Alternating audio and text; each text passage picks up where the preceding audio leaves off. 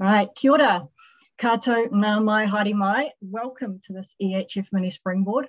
We're excited to have you all here for this session today, which is maturing New Zealand's innovation ecosystem into an economic driver. So just checking you are all in the right room, okay? I know there's a lot of Zooms going on these days. So some quick background context before we begin. This is one session that we're running this week of different topics which are in line with EHF's organisational strategy. This session is innovation, and it's going to be led by our CEO, Rosalie, who will shortly share future context and framing. Um, you'll find in the room today, we've got EHF fellows, we've got New Zealand organisations, and also interested collaborators. You'll find there's entrepreneurs, there's investors working in future technologies, sciences and policy, there's change makers, there's educators, there's innovators and policy workers, and even creatives already active in innovation in New Zealand. Some quick housekeeping before I formally open the session. This session will run until 5.30. It is going to be broken into two segments uh, with a natural break at 4.30. So the first one is 90 minutes. We'll have a five minute break and then we'll be moving into actual breakouts. And the, the breakout session I'll be taking, this first session Rosalie will be taking. It is being recorded. It's been live streamed as well. Um, the main presentation that is the and the panel discussion, and it's running on Facebook. If I'm right, is that right, Paulie? Cool. Uh, we ask you stay on mute when not speaking to limit background noise and interruptions. We will use the raise hand function under reactions, and Rosalie is going to moderate questions. Just unmute yourself uh, when you're prompted to speak or put them in the chat and I can field them from there for Rosalie if you like. Uh, rename yourself as I've said, it's really good for us to be able to see who's in the room. Um, fellows, cohorts, and maybe the place that you're actually coming in from as well. It's good to see what parts of the world you're from. After this session, we will also be publishing a summary, uh, next steps, and an invitation for you to actually continue what we're going to be doing here today. So I'm just going to open this session with a karakia timatanga. Kia hora te marino, kia whakapapu pona mo te moana. He huarahi mā tātou e te ranga nei.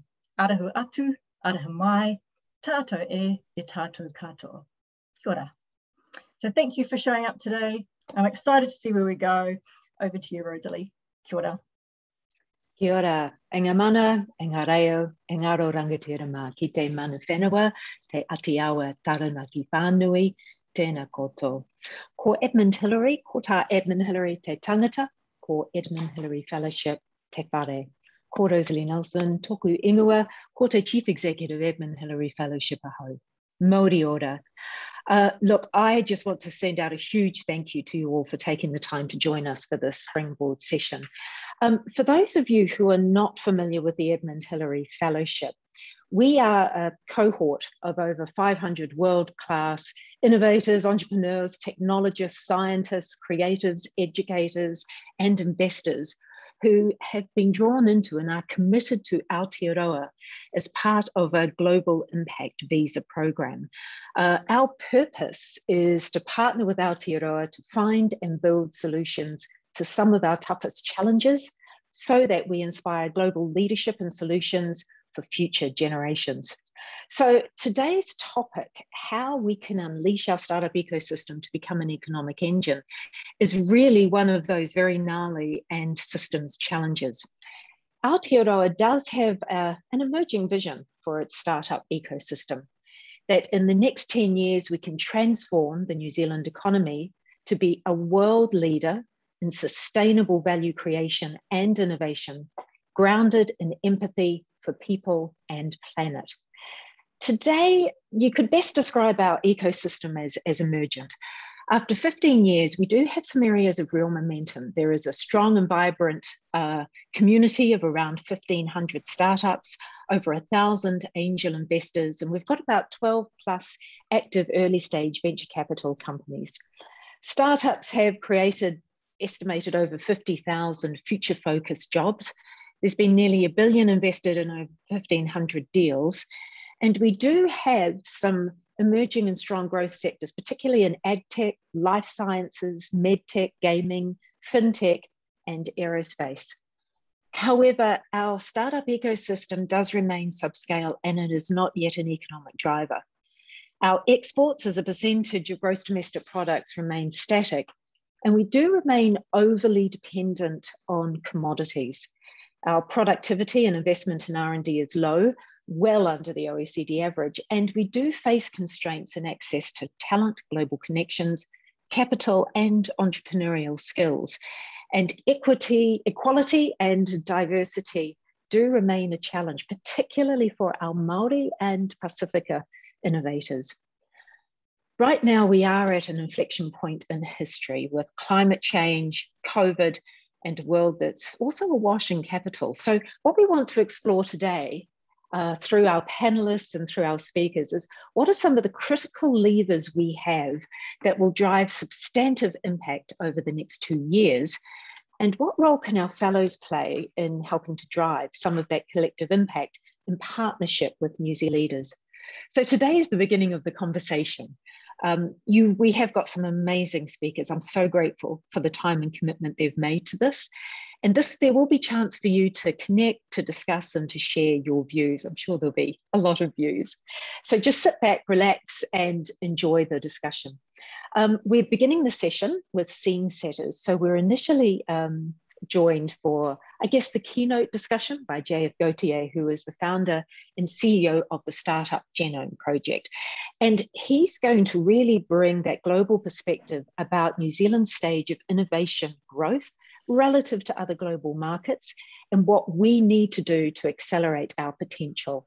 We then bring a very on the ground uh, perspective from four of our systems leaders. There's Suse Reynolds, who is the executive chair of the Angel Association in New Zealand, Anna Kominik, who is the Asia Pacific director of Advanced Aviation Company Wisk, but also our new board chair. Uh, Frances Valintine, who's the founder and chief executive of MindLab and Tech Futures Lab. Um, Frances is very much a, a disruptive educator, um, really looking at how she can equip for future skills. And then Aubrey Te Kanawa, who was until very recently the program director of the Māori Accelerator Program, Kōkiri, at Te Wānanga o Aotearoa. Um, look, as Michelle noted, there will be time for Q&A throughout. So if you have a question, please put it to chat or put the hand up through the raised hand icon, and then we'll go into the break. So I want to begin this session by welcoming uh, JF as the founder and CEO of Startup Genome. Um, JF is a Silicon Valley serial entrepreneur who became and has become a global leading voice in innovation ecosystem development. He's advised more than 100 governments and public private partnerships across 35 countries about how to develop their ecosystem. He's founded five businesses. He's led others across two continents and achieved two exits plus one scale up. And he is an active angel investor and does have a background working in corporate innovation, advising companies like IBM and Cisco and Agilent HP. Um, so, JF, welcome and thank you so much um, for your time today. Um, I know that you're beaming in from the United States and it's probably going to get pretty late in the evening. So thank you. Um, I just want to kick off, thank you, by asking, um, can you just tell us a little bit about Startup Genome, what it, what it does? So Startup Genome is a uh, organization created by entrepreneurs first in 2011 with Steve Blank and couple of professors from Stanford University and Wharton to study for the first time through our own communities, through entrepreneurs like us, what are the success factors for startups? You know, when you talk about uh, the validation stage, the, the discovery stages, these are startup genome uh, phases of the startups. And then we move to ecosystems, realizing that actually most of our success depends to on the ecosystem, not on uh, just what we do in our startups. I don't have control over that. And I always ask people like if if if Zuckerberg had been had been in a small city in Africa, what would have been his chances of success? Right? Zuckerberg didn't build Facebook. So over the years, we've, we've, we've grown this research into a startup that we sold to Sage, that became the AI you know, department in Sage. But when we sold it, we decided to keep you know the research and turn it towards an advisory uh, company, research and advisory companies to help policymakers do better policies for startups all over the world. And this is our way to give back and make sure that startup ecosystems grow all over the world, not just in Silicon Valley and in a few top places. So that's our mission. That's what we do full time is just researching and advising governments on policies and learning from you know, the best governments in the world that have a lot of experience and knowing what failed and what didn't, what succeeded, so that we can all learn together and help each other uh, build those engines of growth and start and uh, job creation. JF, one question that you must be asked a great deal is every market will be quite unique. It's going to have its own characteristics. And it's those characteristics that will shape the startup ecosystems. So, how do you manage to compare across markets, across countries, when there is such massive differences? Well, the differences in, is in the culture, is in the strengths, right? Some cities like Frankfurt is undeniably great at fintech and not very good at you know other subsectors, for instance. But the way they makes startups successful is very replicable all over the world, right? What is what is a funder doing to build a startup, the lean startup methodologies? What should an angel investor and a VC investor do? Uh, you know, the global knowledge there really helps every individual in every city learn about their role and get better. Uh, so of course, there's a lot of uh, so what we do is we bring global best practices from all of these learnings that apply generally to different cities. And then in each city, we work with the local government, the local community to tailor this to the local reality, the local culture, so that we don't apply exactly the same thing, right? Because the problem's a little bit different.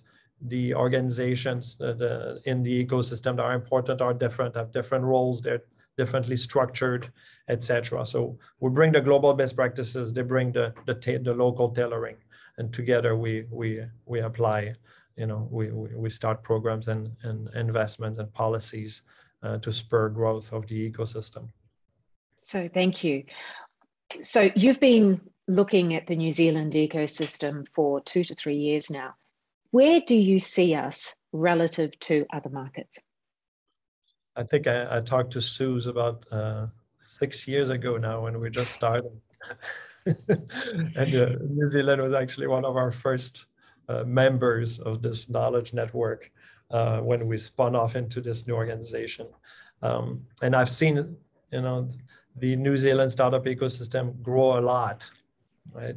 And a lot more entrepreneurship, more support organization, more funding. We've seen at the beginning there was much more uh, gaps, and we've worked with the governments that took our assessment and enacted policies very effectively. So over the years, we've seen a great transformation and improvement of the startup ecosystem. And we talk about phases at Startup Genome. Probably a lot of people here today are familiar with the activation phase and the globalization phase.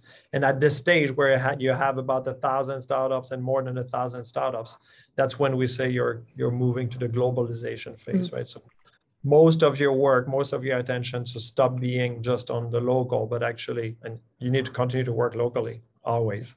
And you need to start allocating more resources uh, to the global. And I think it really uh, applies to the reality of New Zealand in in it in where it's at as a startup ecosystem, but also as a, an economy and, and its needs in terms of being a small market that can create you know, corporations with you know 10,000, 10, 20,000 jobs, or even 100 corporations that create that many jobs without you know, starting to be better at marketing globally. And so, so this I'm is hearing... challenge, right? Is, is going global for the scale, scale ups to create that mm. engine of growth that you were talking about. Mm. So it sounds as if we've moved, we're moving towards late stage activation, early globalization. Would that be a fair characterization? Yeah. So what, in your view, are the key areas of focus and levers now? And also, where are you seeing the momentum occurring? So, you know, the, the, the change has to be in terms of, you know, culture of all of the stakeholders in the startup ecosystem to start working differently from the start Right? In the past, if you were just building new entrepreneurs, you work on local problems. The startup accelerators, incubators, they can work locally. Once you start wanting the startups in their first, second, third year to be starting to go global, all the startup organizations need to change, right? They need to have their own network. They need to mm-hmm. start saying, okay, I need to connect them and take them out of my country and my city and bring them to the US, bring them to Europe. How do I do that? I need to start myself thinking global as a, as a ecosystem builder, as a startup accelerator. Uh, and so am I belonging to a, to a global network? Am I learning from peers in other ecosystems? How do they create scale-ups?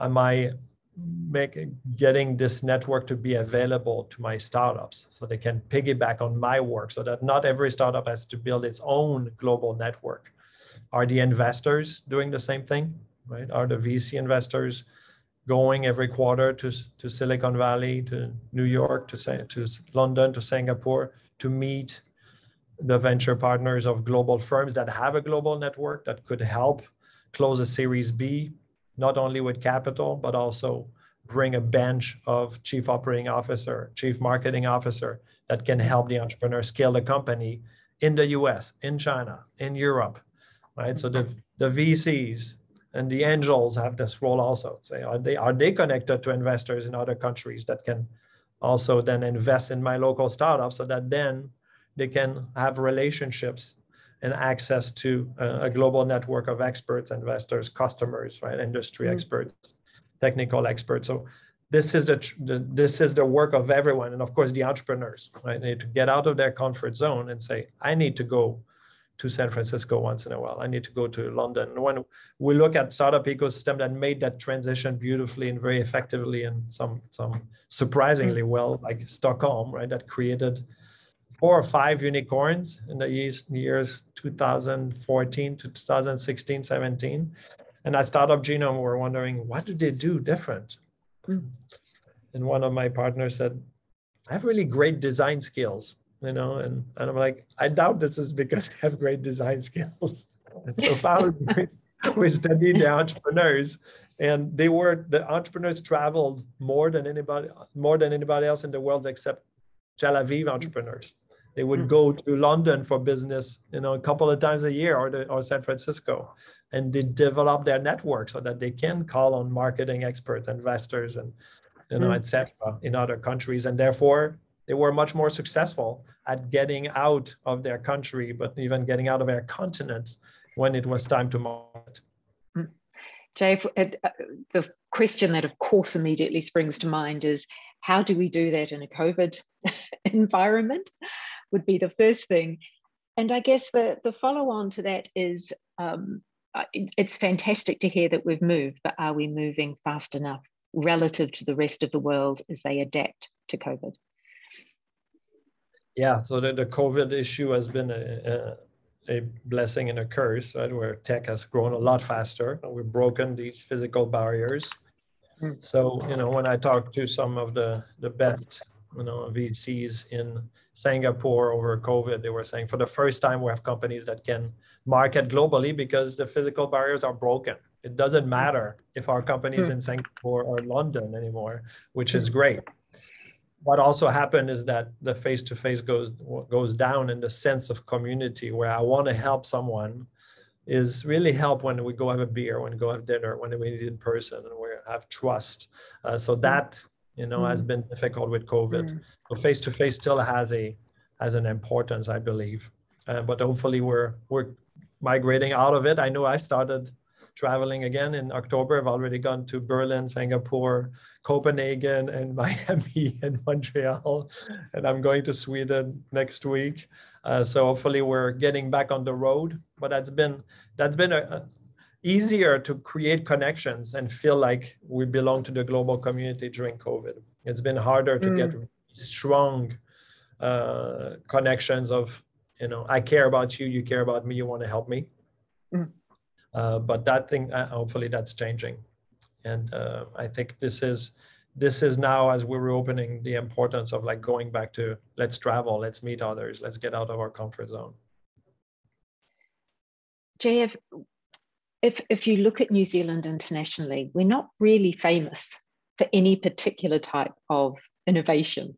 Are there areas of strength or advantage that you can see are clearly emerging for us now? Yeah, and you were asking me before, and I didn't answer. What, what, where are we? Are we growing mm. fast enough? Are we improving fast enough? And you know that I try not to. You know, there's the average, right?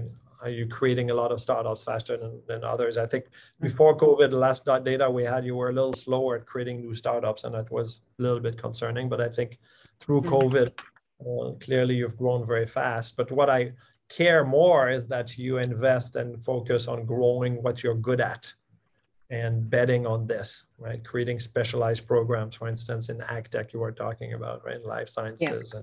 I know clean tech is big on your agenda and it's a fast growing segment. Uh, so this mm-hmm. is what this is how startup ecosystems accelerate is by focusing on your local strengths, not being not try to be good at everything, and you're hmm. not an enormous an, an enormous country you don't need to be good at five sectors to create a lot of jobs right so mm-hmm. focus is and when you're a small ecosystem focus is the name of the game and so you know you know what your strengths are you just name them just at the beginning right? i'm not going to repeat them but tech life sciences and and others well, it's just and, looking for validation yeah so this is this is you know i think you you know it because it's in the data right you've seen hmm. exits and you've seen uh, creation of startups. And now the question is, as an ecosystem, how do we bet on those strengths so that we don't just create, you know, funding policy, but also focused funding policy? How do we create funding policy, for instance, sidecars, so mm. that accelerators that are focused in ag tech also can write a check and bring mentorship plus capital, as opposed to, you know, separating the two, right? Mm. So how do we bet on those strengths with a with a set of programs and policies? where we accelerate. Because once you start creating scaling expertise and scaling experience and success in AgTech, it's transferable, right? You have their chief operating officer that build a big organization mm. quickly, ahead of HR, ahead of marketing, ahead of sales? And they can hmm. come, they can go to the other subsectors. So focus is very important. And so you're you're growing, but I think the big problem is you're top of the plate, right? You don't have a lot of that scaling skills not only lacking in, among entrepreneurs, but also among your executives. The entrepreneurs that are at Series A and starting to create an inflection point. It's one thing to be entrepreneur and be chief sales officer for a while, but at one point you need a chief operating officer that's done it before and a chief marketing officer. So either I have a network globally who's done it, or I have people locally who've done it before, or I'm in trouble. And that's what the problem is. And you know, Tech City UK, Tech Nation created the Future 50 program, the upscale program, to remedy that problem with really great success. Where London was recognized for early exits, you know, 8 mm. years ago before that, and now is the number two at creating scale up, number three with New York. Uh, so we've created a program to do that, and it's needed everywhere. So this is your challenge now. How do I create those scaling skills and this global mindset? in the investors, in the startup support organization. But when I look at your funding policy, it's been very effective at funding more startups. But when I look at the check size, it's too small mm. to fund global growth. So that's a change yeah. in mindset, right? Instead of funding 50 startups at 2 million each to, to invest my 100 million dollar fund, what about I invest in only 20 startups, 5 million each, right? Mm. But really change in mindset for the investor. And that's mm-hmm. throughout the community, that's what we're talking about. JF, thank you. Look, I'd like to open it up to um, anyone who would like to ask questions at this point. Please just either put it into chat or put your hand up uh, because there is still so much that uh, we can explore with, with JF. And so, look, while we're um, while we're waiting on that, what's the role of, ah, no, we've got Mark Bregman. Mark, hello. Rosalie, you knew I would have a question. I did. Uh, so it's, I agree with an awful lot of what you were saying, JF. I, I do wonder about that last portion though, where there tend to be smaller checks and, and frankly, a gap in the capital available within New Zealand. I think that's caused some people in New Zealand to think we need to have a way to fund these New Zealand originated companies through their life cycle. Therefore, we need bigger capital pools and bigger checks. And I mean, I've heard commentary when a New Zealand company goes, for example, to the US market because that's where the customers are and raises money in the US market because that's where the money is. Oh no, we've lost another company because now they're a US company. And I, I contrast that with what I've heard with Israeli companies, and I'll exaggerate a little bit, but until the last Israeli member of that company dies, it's an Israeli company. They don't care where it is. It's Israeli because it started here and it's our intellectual capital. And that global, it's back to something you were talking about. It's the global startup community that the Israelis look to. I worry that there's still a parochial view in New Zealand of that because of the fear of companies going to the US. Rocket Lab, oh my God, they went public in the US. We've lost another one.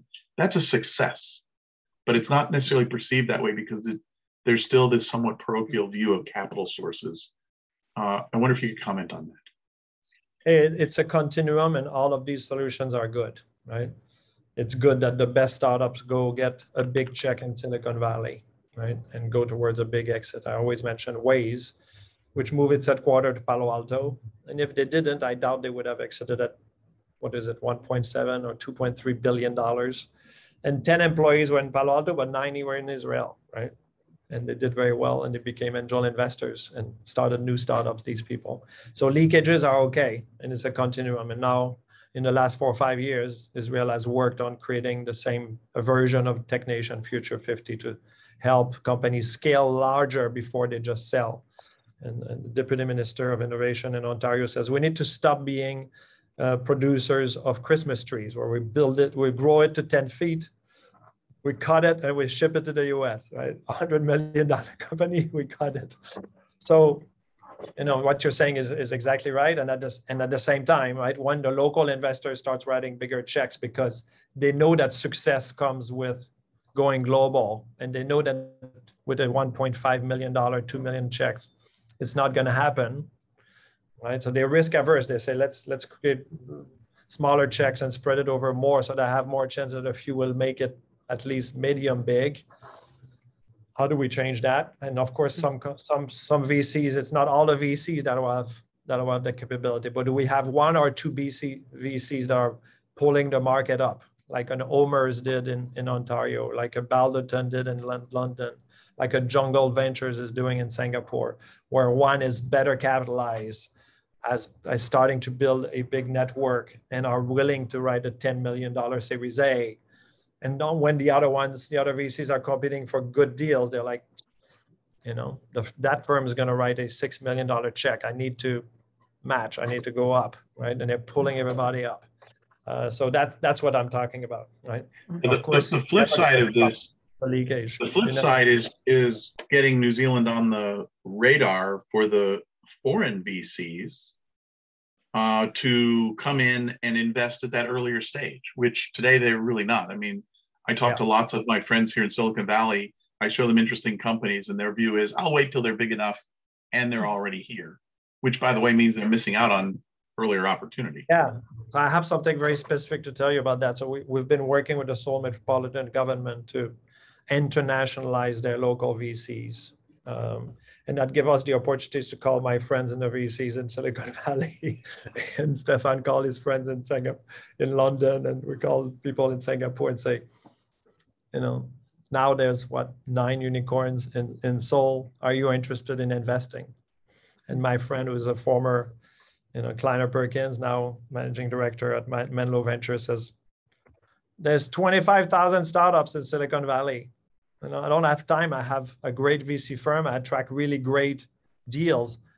I have none of my partners are Koreans. I don't have time to develop that market. I could I could go to India, I could go there, but I have so many good deals in the US. I'm I don't have time. So I'm not doing it because I have great deals here already. I'm not going to Seoul. And what he was saying and what Balderton was saying and what Jungle Ventures is that the opposite happens, right? The Jungle Ventures uh, Anand Ahmad said, I flew to Silicon Valley every three months to say, hey, I'd love to have a relationship with you. Here's some deals from Singapore, you know, and then suddenly after three, four trips, hmm. you know, VC says, oh yeah, I'll, I'll put some money in that company. That's very interesting.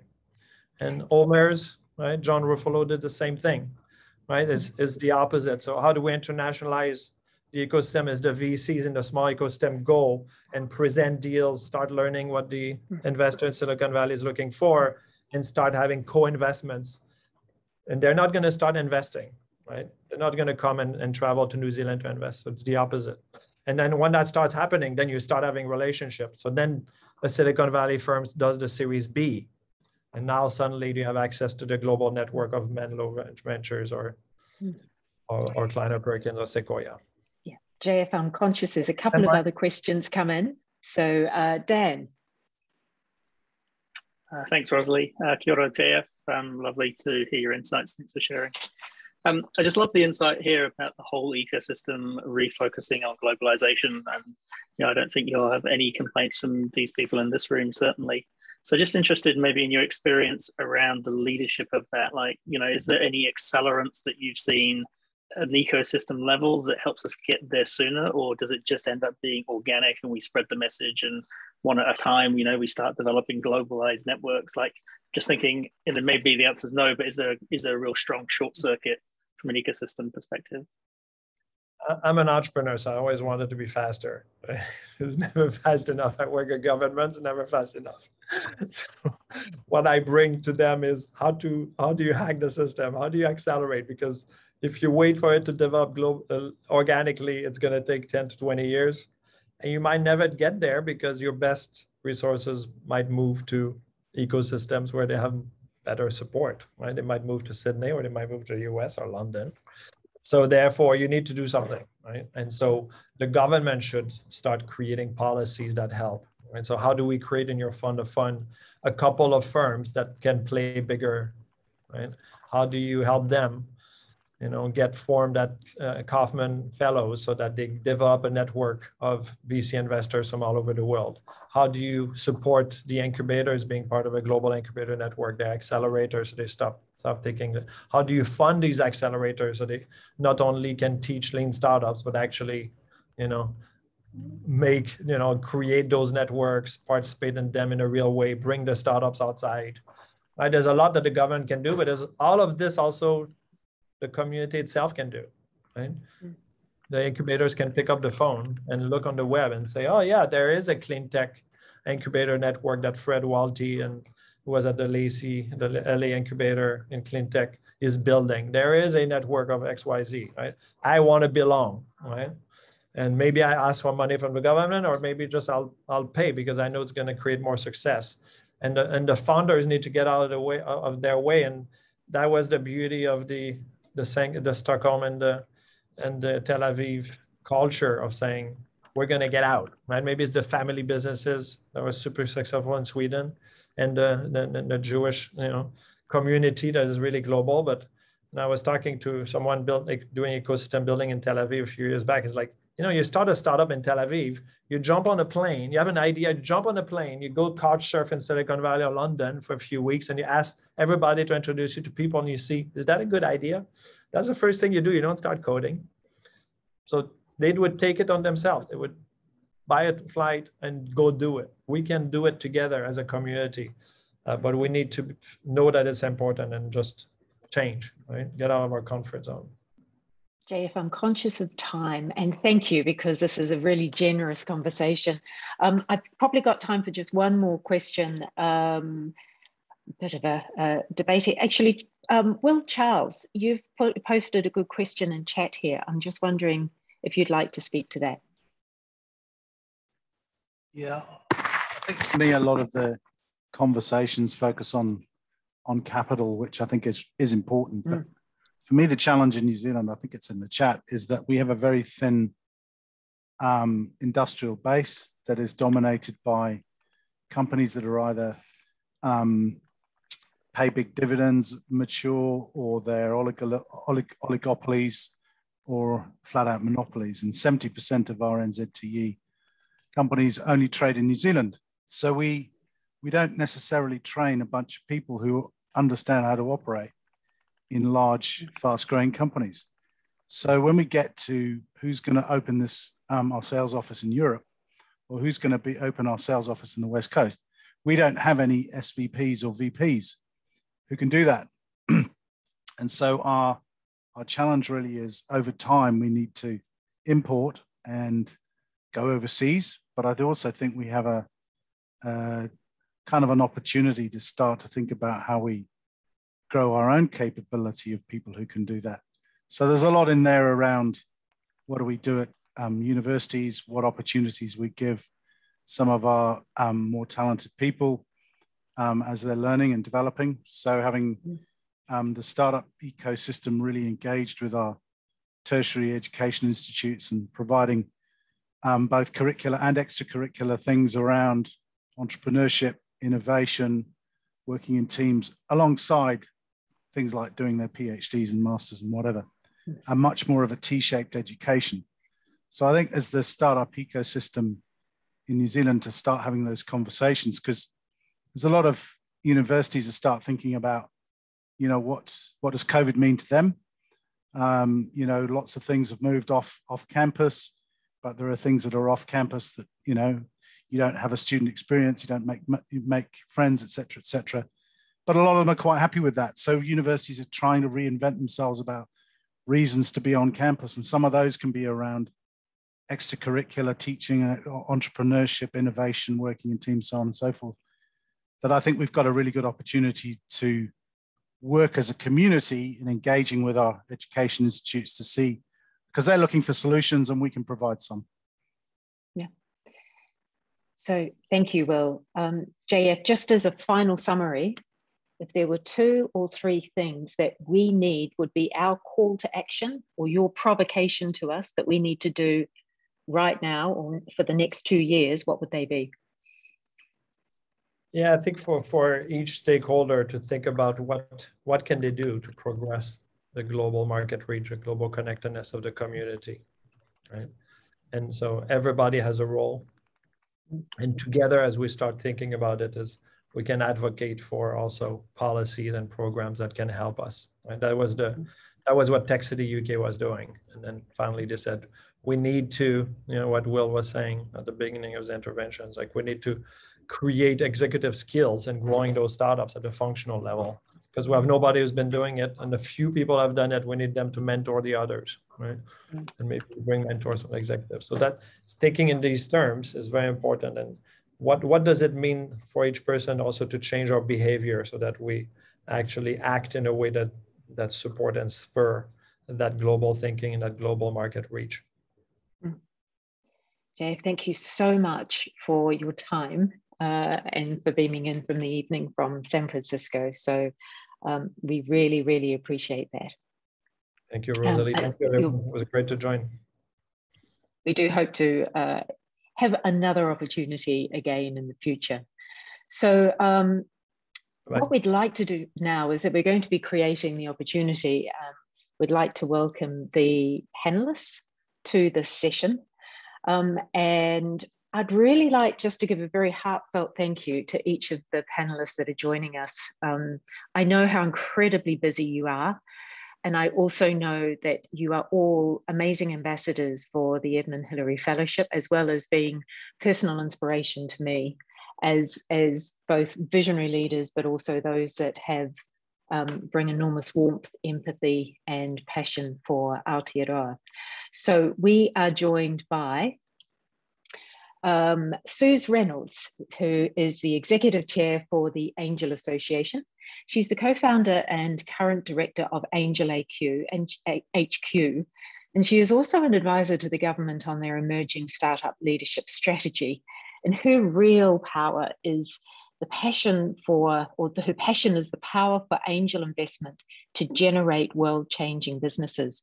So, Suse, we'd love to just kick off to get your just your initial thoughts on this whole theme.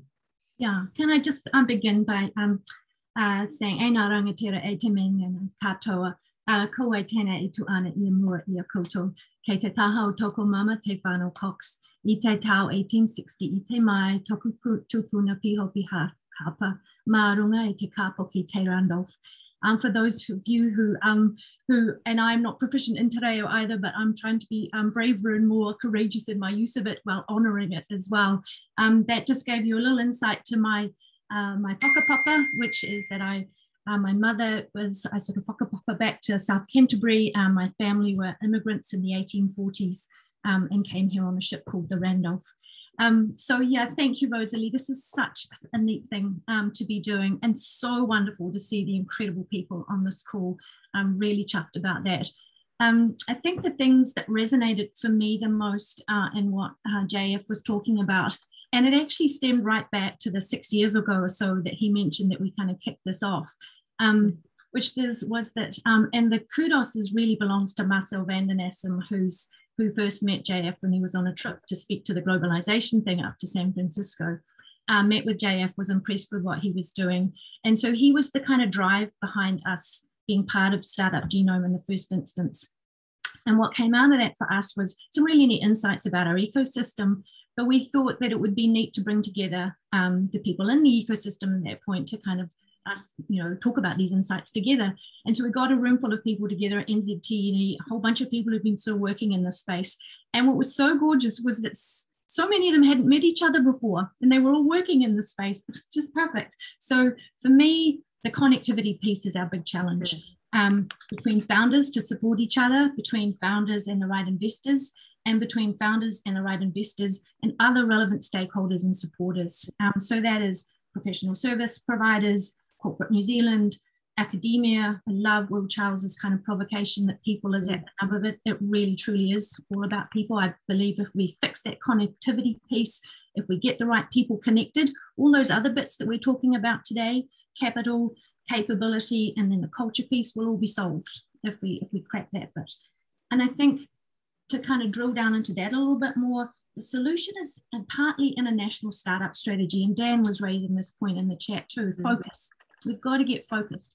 And a national startup strategy, if it's going to be effective too, will be grounded in a sort of, and we don't want to get too kind of centrist about this, but having a general sense of where our strengths are and being kind of joined up about what those strengths are, because it is in focus. A small nation like us, focus is the number one principle of success. Um, mm. So I, that's the kind of stuff I think that we're really focusing on. It's a strong kind of um, I guess, Kaupapa for the Angel Association, connectivity, joining us all together. And we can maybe dig into that a little bit more when we get into our breakout session. But I hope that gives you a little bit of a sense of where I think we should be heading. Cheers, Rosalie. If I could, if I could just ask, what's what are you asking for in the startup strategy? What are the key things you're recommending? Um, well, we need for, for a start off, and you mentioned this too in your introduction, a sense of what success looks like.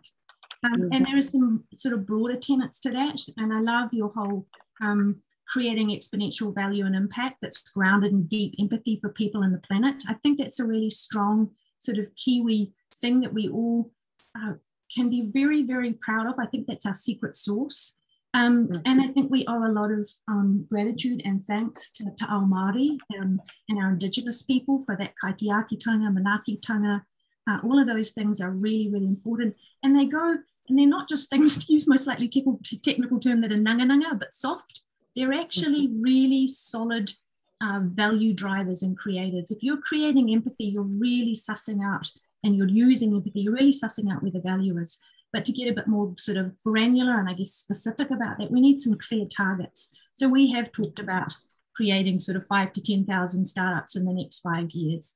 Um, and keeping a bead on you know where the job, job creation is and where the focus and strengths are for us um, and i think we're small enough that we can have a sort of again a light touch national startup strategy um, a national start, startup portfolio so that we know who they all are and we can join the dots that connectivity um, piece again is really really important um, and really owning it actually really genuinely recognizing that our future job growth that all the big problems that we're facing in the world are being solved by startups and really mm. kind of helping us to kind of button into that. Being a startup founder is incredibly freaking brave.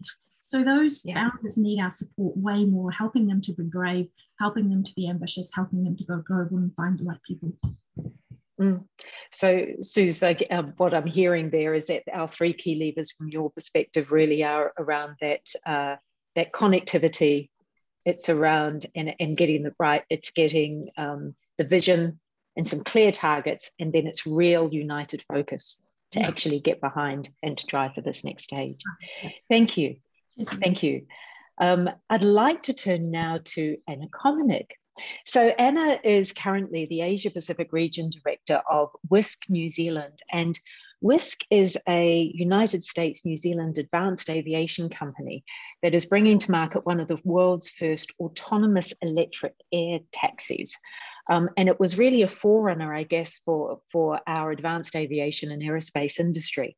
Anna has a real portfolio background, having served two prime ministers in New Zealand and a former Commonwealth Secretary, and has also founded her own businesses. She is also, I'm delighted to say, the new board chair of the Edmund Hillary Fellowship. Um, so, Anna, just love to get your initial thoughts because you'll bring a different perspective. Uh, e na mana, e na reo, e na karanga maha o te wā, tēnā koutou katoa. Ko te ahamarangi i te maunga, uh, ko karimako te awa, ko, ko uh, Ngāti Hurai, uh, te iwi, uh, no Ponaki o, uh, ke Wisk, ai mahi ana, ko Anna Komanek, toko ingoa. Uh, no reira, tēnā koutou, tēnā koutou, tēnā koutou katoa. Um, it is an absolute privilege uh, to be here today, uh, speaking both as chair of uh, EHF, just started, so please give me some grace um, as I get up to speak with this extraordinary team uh, that I'm privileged to be part of, uh, but also uh, as part of my role with um, Wisk as Asia Pacific Director.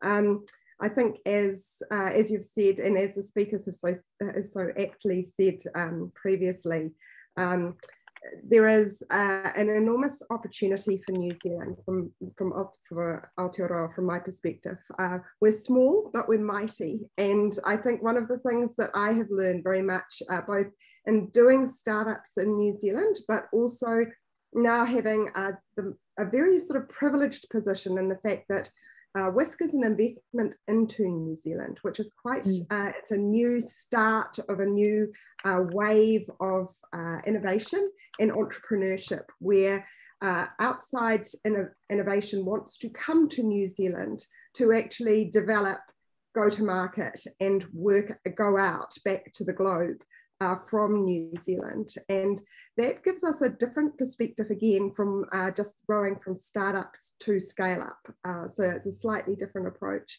I think from what I've learned uh, in my current role uh, is that we have some distinct advantages in New Zealand that uh, we can really leverage, grow, develop, sustain uh, and they are going to give us a real advantage uh, in all of this space. Uh, and what does that mean specifically? That's around the fact that we um, have a fantastic reg regulatory environment. It's very easy to think, get things done in New Zealand.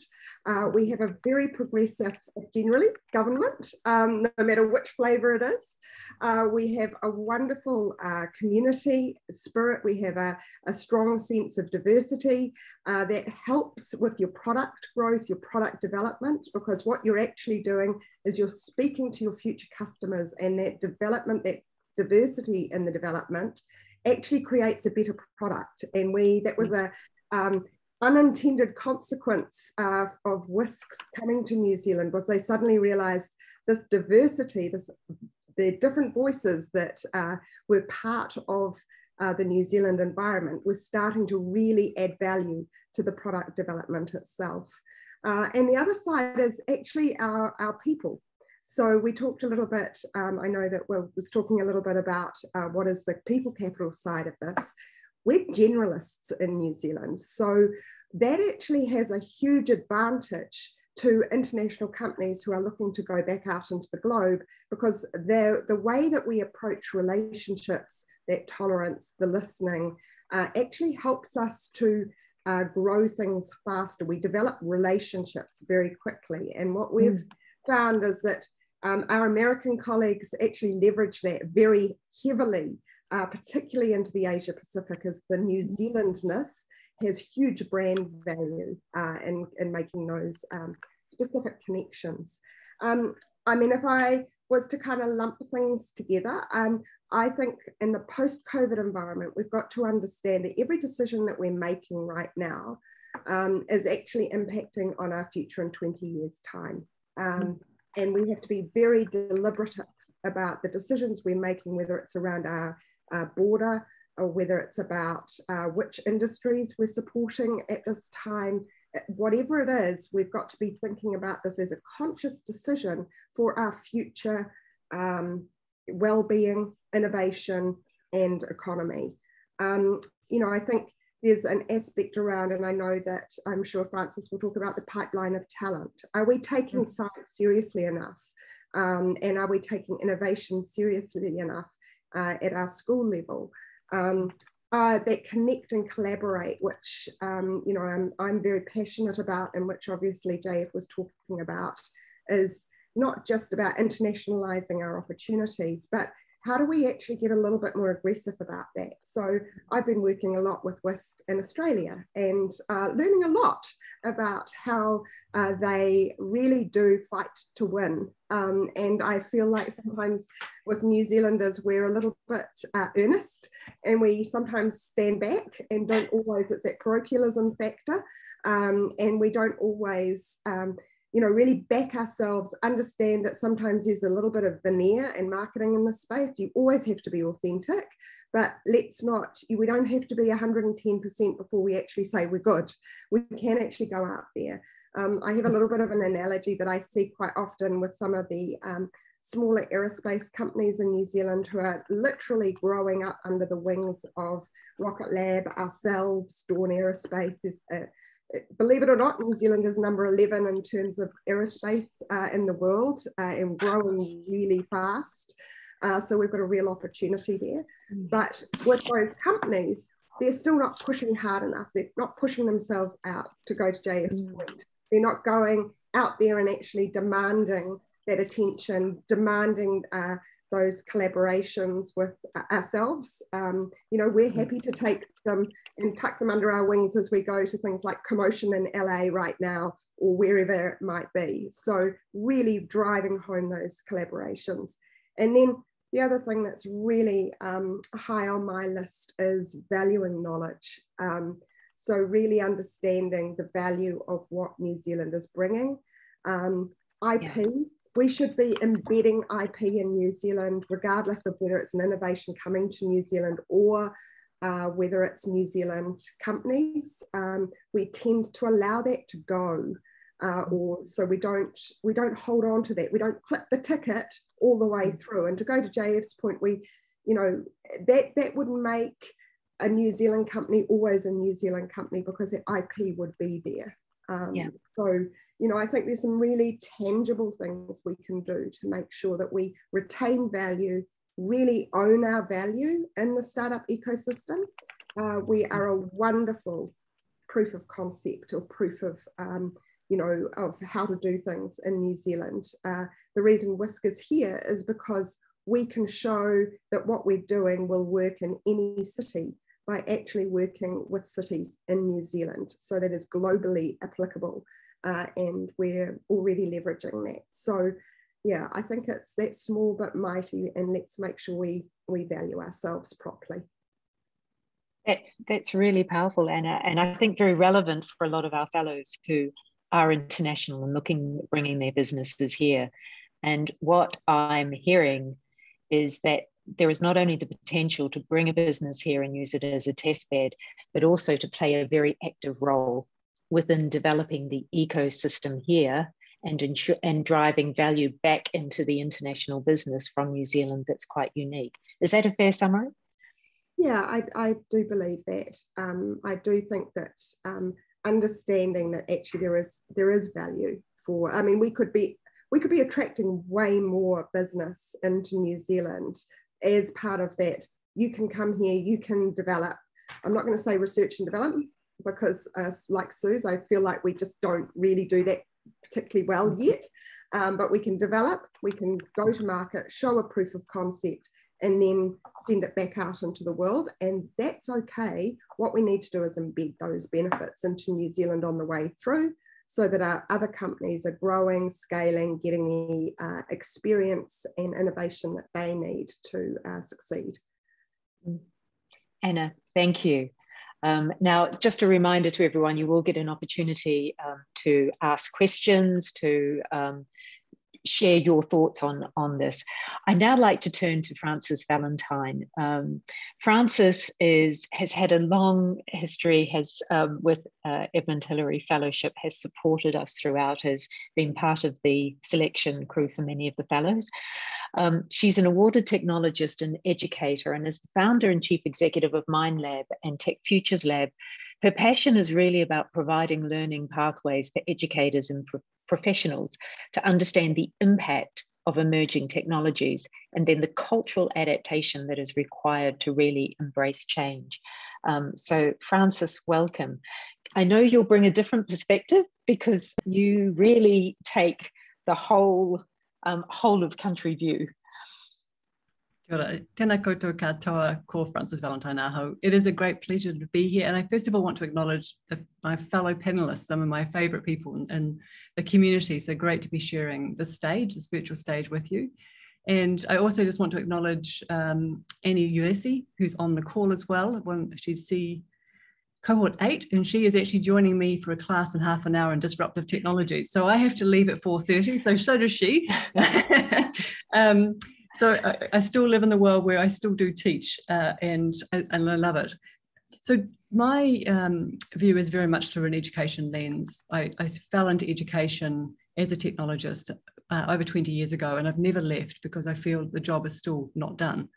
And, um, and I have had the view through working on the board of Callaghan Innovation for many years, looking at the R&D environment up until last year when I stepped off and of course with EHF but most of my time is running graduate school for professionals. And, and just if you don't know uh, the organizations, for context, the students we have, and we have thousands of students, they are professionals with the average age of 44. Um, mostly they come out of large organizations and are really trying to discover where directionally they're heading in, in their careers. And so this is really a, a, view I've taken across multiple countries and working living across the ecosystem and thinking about startups. And coming back into Aotearoa and looking through that lens of what people think about startups, I recognize the first and foremost, it's a very exclusive club. And it's a hard thing to say, but actually we, we exclude the, the, the really the, the core values of Aotearoa because the aspirational pieces and components that we put forward as the characteristics of a startup uh, founder are often look nothing like our community. And I think we're really missing the fact that our country is a very diverse country, our cities even more so. We have a rich history and, and the influence of Te Māori. We have a Pasifika flavour. We have a large immigration community, which is one of the most diverse uh, cities or countries in the world. And actually, we really have to understand what is in the heart of people when they think about startups. And if you go deep into the school system, you very quickly identify that there is really no visibility of a culture around people creating their own destiny, becoming entrepreneurs, becoming startups, and even to the point of understanding the difference between a traditional analog organization and a, and a digitally uh, informed and scalable organization. So by the time I meet these students as adults who have many decades often in, in experience, they too have no understanding of what the startup community really looks like because it's ring fenced by certain terminologies and often by connections into the, the, likes of venture capital and partners and VCs, and it's just an unfamiliar terrain. So I think we do need to be very careful that we don't become even further ex- sort of exclusive to uh, the rich richness of what Aotearoa can bring. So that's the first part. The second one, our economic complexity is very low. In, in terms of, as a metric, what we're producing is not unique. We're not, uh, the, the high levels of innovation we perhaps, where we peaked over 20 years ago, are declining as we are not really embracing those things that we're extraordinarily good at or we have a natural unfair advantage.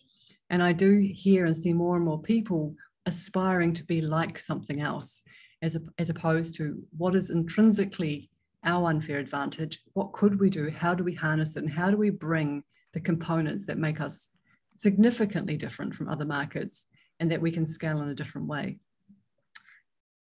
The, the challenge we, that goes deeper into the system, though, is people don't know what they don't know. And mm. I think this is one of the greatest challenges we have.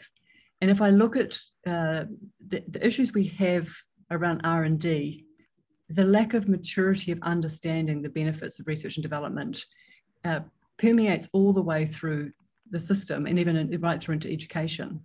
So just to give you a, a bit of a, a, taste of New Zealand. So less than 5% of New Zealanders have any form of postgraduate qualification. Now that is the lowest in the OECD. Now that's where, and you go into postgraduate studies, is where you learn to research. It's where you learn to experience, experiment. It's where you start to actually have a hypothesis and think about how things can be possible. It's where you mix with other people from different disciplines and you bring that convergent space together. So in the absence of really pushing people into the spaces where education is a lifelong pursuit and actually engaging with parts of the ecosystem within education, within the startup ecosystems, within different communities, it's really hard to imagine that diversity that's going to spark the startups that we need to scale and, and to grow. So, so one is how do we get people involved with learning across their life? And so it's not that that part of a sort of a front loading uh, experience that we do early on, and then we kind of forge ahead and trade on things that perhaps uh, no longer fit for purpose. And uh, and I think that given the small size of our uh, our population, the number one employer is the government. The number two mm-hmm. employer is yourself. The number three employer is typically international companies. 50, 50% of all of our companies in New Zealand are offshore owned. So we have to understand we're getting down to a very small segment. By the time you take out local councils, you're actually getting down to a private sector that is predominantly focused on small businesses. How do we get those people to understand the potential opportunity of growth? And if they're not surrounded by people who talk about investment, if they're not surrounded by people who understand by the, the money you invest and the time and the research, the exponential benefits that can come with that, we keep talking to the same people. And I think it's really critical that we try to understand we have talent, we have incredible talent, we have great creativity, we've got great perspectives from different cultures, and we have a, a fairly egalitarian community, which means that ideas can bubble around without huge hierarchy because of complexity and, and big businesses. So then what is missing is understanding of what startup ecosystems need and also what they look like. So I'm a really big um, in favor of this idea that we need to permeate that storytelling. And, and actually, I think of one of the other parts of storytelling is um, goes even deeper into to journalism It's if you think about the sources of information that people now uh, gravitate towards, if you take a, a, Washington Post or a New York Times, or you, you look at even even across the ditch, the Australian, and you look at the caliber of the storytelling about startups and, and technologies and the advancement of, of you know different types of tech, and then you pick up local media, it's really hard to see you know where are those businesses here? They don't get become front page news. We don't see the great, you know, the really great success stories that we are uh, incubating or we, we have, you know, we've populated and pushed into the world. And it's, I think as part of that too, we have to have those deeper con conversations and depth of understanding of what is actually happening behind closed doors or in offshore markets that's been sort of spurred and spawned and grown from Aotearoa's kind of heart. So there's the, all the ingredients for me are, are all there but the links are not. The connections are frail and and actually we, when we think about how we might build those ecosystems and connect them, we just need to make sure that there's no missing pieces. You know, if you, if you think about the connections and the chain that we need, um, as soon as there's a broken link, the system breaks completely. And I think that's where we are right now. And COVID, of course, with two years of slowdown, uh, is going to actually exacerbate some of these issues. So we need a sort of a gear change and, and put the foot on the accelerator, and we need to kind of hustle people together and, and get going again, but maybe reimagining with other people at the table. So if there were three things or two things that we could do to move it forward, what would it be?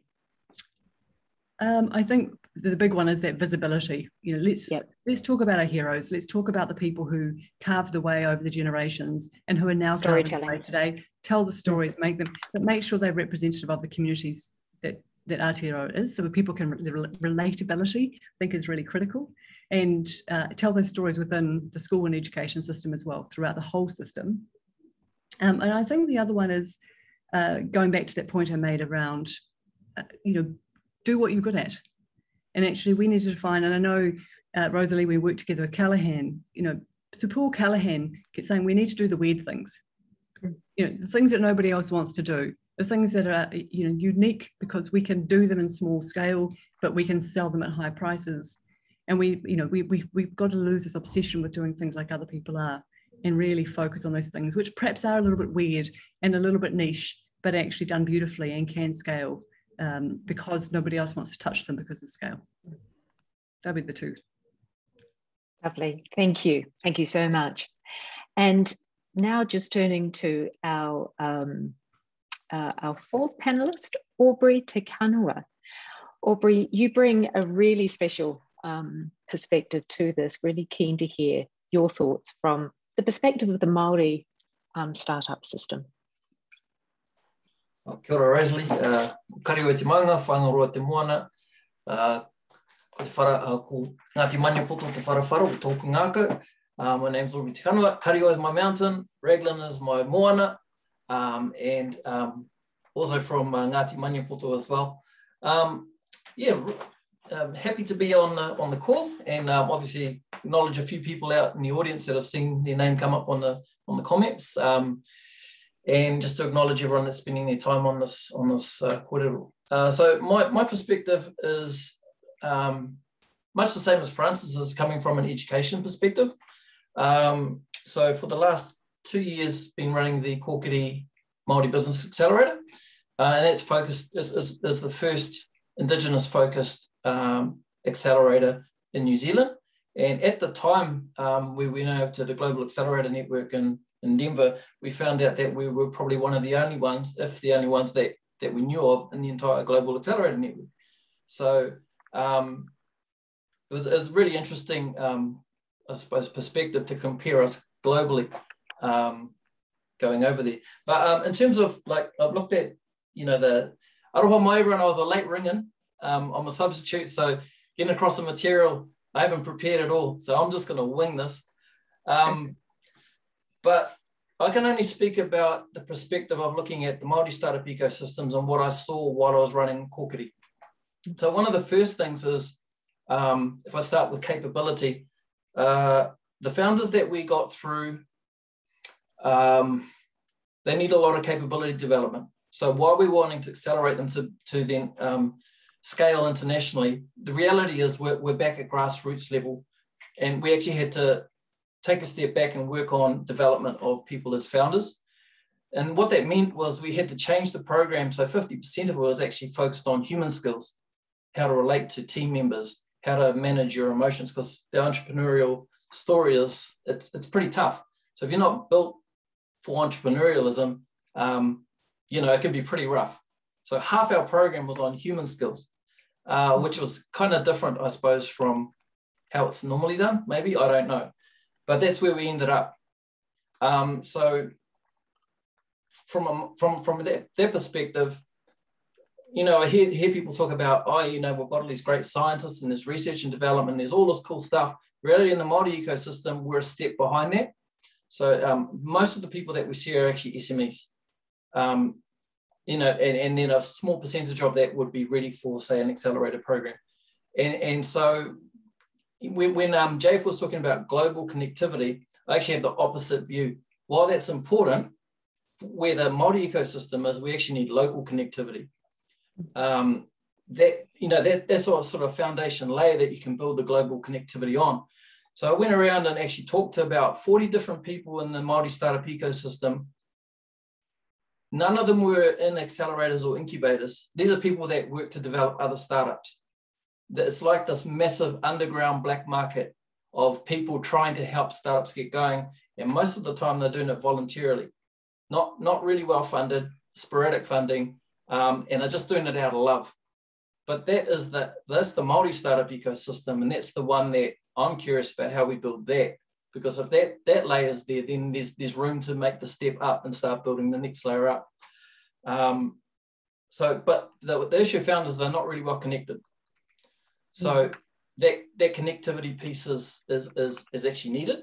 And um, stepping back to a grassroots level, not worrying about you know, scaling internationally and all that. Just get the baseline level stuff done first.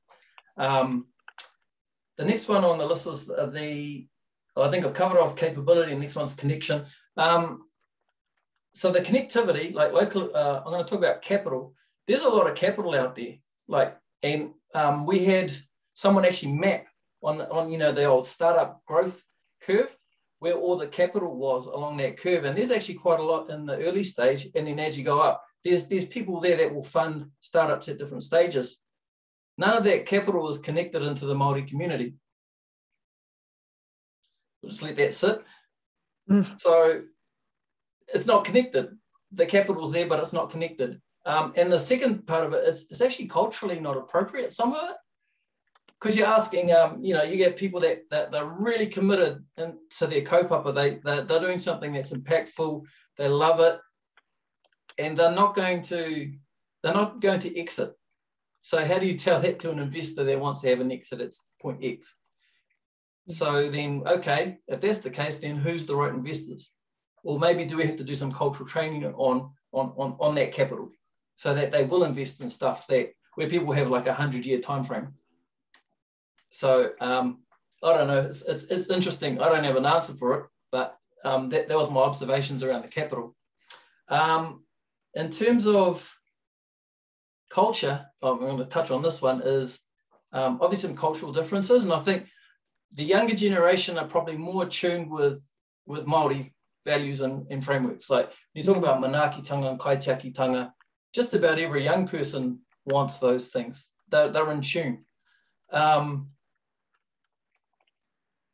yeah, so but the challenge that we had a lot of the time was actually getting our entrepreneurs to think about making money to, to make sure that the business stays sustainable.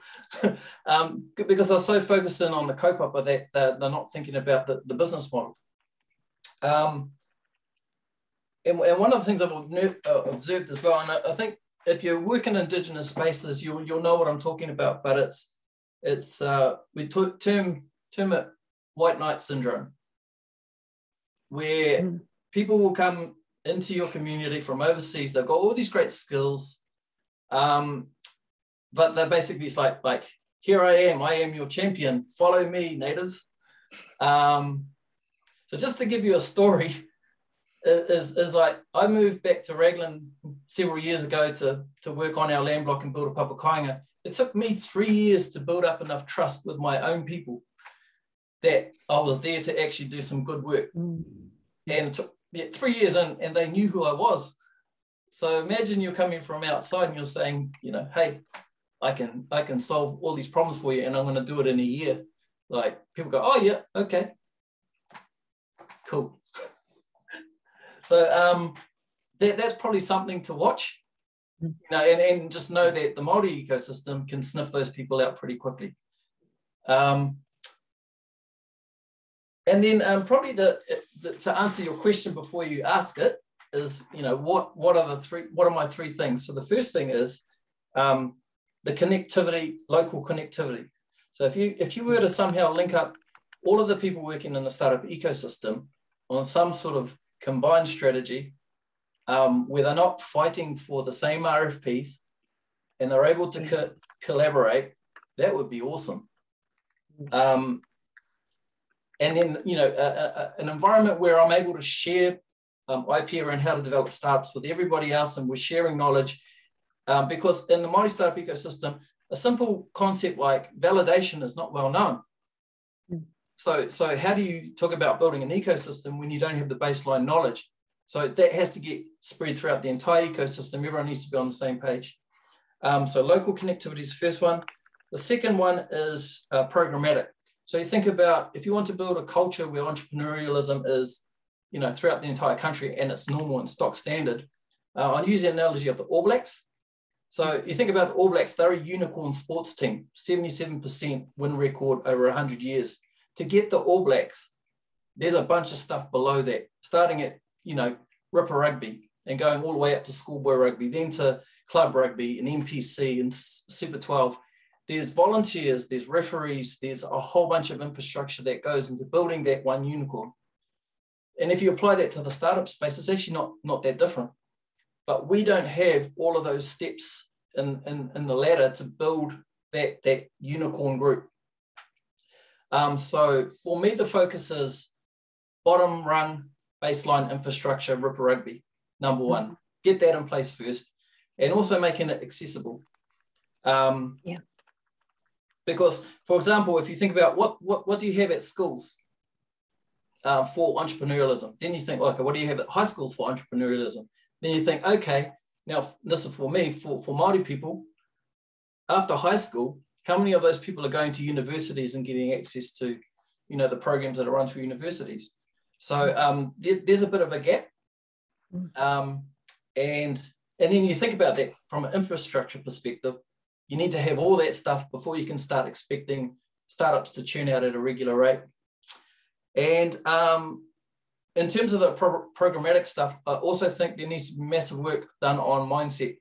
It's, it's especially in COVID times, it's made people more conscious about human skills, um, being able to handle stress, um, be able to uh, manage relationships, which is much harder when you're doing it via Zoom, which is kind of the norm nowadays. Um, so programmatically, you need you know, all the accelerators and incubators um, helping the entrepreneurs become good humans at the same time that they're, they're stepping out in, into the world. And I think that could be a real difference for us as New Zealanders if we're focused on, on humans, developing good humans that be, then become good businesses and good role models. You know, you'll build that culture over time. Um, and what else was the uh, one more note? Uh, yeah, local connectivity, programs that are good. Oh, and also then there's some policy stuff as well. If you want that sort of infrastructure, you have to have policies that incentivize that stuff to happen. You can't incentivize people to be connected when you're putting in into a competitive RFP. That's not going to happen. So the, the, RFPs have to be worked in such a way as you're encouraging um, collaboration mm. uh, in terms of the accelerators and incubators. But th those things are key pieces of infrastructure for developing the next layer of um, startups. Uh, that's my rant. I think. Right. Actually, that was incredibly revealing. Thank you so much. Those insights are really, really valuable um, and much appreciated. So we'd just like to open up to questions now. Um, I know there's been quite a live commentary that's been going on in chat. Um, so any questions that you've got or else putting up your hand if you have any sort of questions for the panelists at this point.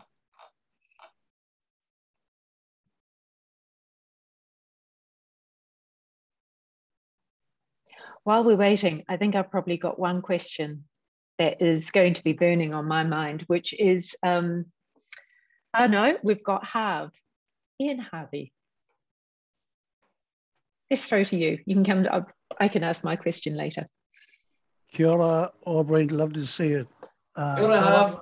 I knew you were going to ask a question. Yeah, look, Aubrey, you make it sound easy uh, in some respects.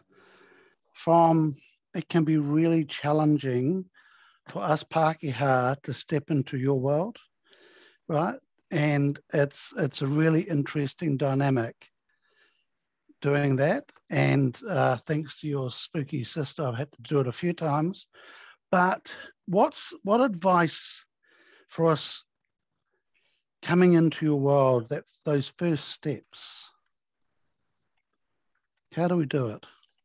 Ooh. You had to ask a tough question, didn't you? Um, I'm not sure if you're making any, it. You're making it look too easy. I don't know if I've got, got any good advice on the spot, but probably the first thing is just to listen. Um, I'll give you an example. I, I met this person and they came came to me and they said, oh, you know, I want to do this stuff in the startups, work, you know, help help Māori businesses and stuff like that. And then um, I, I never know what people's true intentions are. So I just sat back and waited for a year to see what, what would roll. And um, watched this person over the space of a year bust a whole bunch of relationships. And, you know, that was enough. So the evidence was in the actions, but just listening and actually being considered in actions and knowing, you know, not, try, you know, not trying to put um, a lens on what you see, just, just listening and observing. That's probably the biggest thing. In fact, in our program, listening skills is rated as the number one human skill. So yeah, just listening. Thank you. Thank you. Any other questions, hands coming up for any of the panelists? So look, the question that I, I have, because we're talking here about local and global connectivity, we're talking about skills and capability, we're talking about culture. What's your provocation or ask of the Edmund Hillary Fellows, given that they bring, they are serial entrepreneurs, they are investors, they have global expertise, they have experience in scaling up systems. My provocation and my ask of the panelists is what should we be doing in these next two years to really help to mature this ecosystem. Is, is, that for me or is that for everyone? Or? That's for all. It's so easy, Rosalie. You know, it's just bubbling out of all of us. I think we have just, I think there's, I loved um, Aubrey's thing about just listen. Um, but I think um, I also love the Chinese philosopher dude Lao Tzu, who he talks about you start small, you know, um, start, and I like the kind of um, start local. I really loved Aubrey's kind of thing about just um, build trust, you know, like home first, build connections at home first. And so mm. where I think, um, you know, Edmund Hillary Fellows can really help is I mean, you'd be brave about making those initial initial connections. You know, one-on-one, small groups. Um, if you see a startup that appeals, if you see an initiative that appeals, New Zealand is so sort of hyper connected that ask any of us here, and within two sendings of an email, we can probably join some dots for you. So I'd mm-hmm. encourage them just to have at that because I think, Harv, your question, it can be daunting coming into a new hood where you don't know anyone and where the culture seems quite kind of quite powerful and people use jingo and, la- and jargon that kind of can be also a little bit off-putting. So um, I just encourage you to kind of reach out. Starts with Frances, I'm conscious of your time. I'd love to get your final thoughts.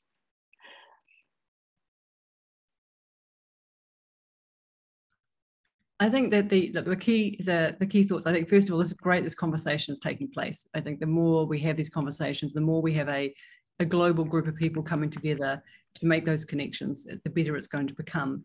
I just wish it was amplified. And I think there's been some great comments in the chat and coming back to just reporting and storytelling that I still think that, that if we could, if we can get our stories more able to be uh, consumed by a, a, broader group of the community, people who are running small businesses, who have got aspirations, mm. and, and people in the regions, and people who you know, have seen the potential of what they've got, but they just don't know where to start. If we can find a way to connect with those people, and we'll probably discover there's a whole lot of untapped uh, capability and innovation and just original thinking that we haven't seen at all yet.